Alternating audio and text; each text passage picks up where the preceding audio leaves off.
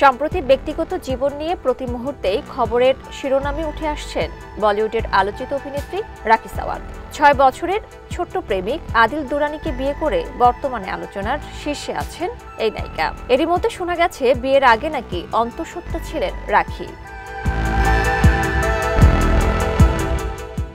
গত বছরের আট নভেম্বর রাখি সাওয়ান্ত ও তার আইনজীবীর বিরুদ্ধে মানহানির মামলা করেছিলেন বলিউডের আরেক অভিনেত্রী শার্লিন চোপড়া। জানা যায় এই মামলার ইস্যুতেই গ্রেফতার করা হয়েছে রাখিকে।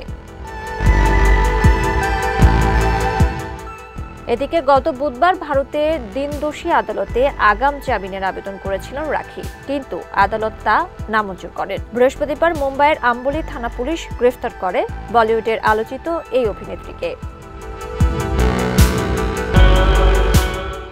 রাখির গ্রেফতার খবর জানিয়ে নিজের ভেরিফাইড টুইটে শালিন লিখেন ব্রেকিং নিউজ।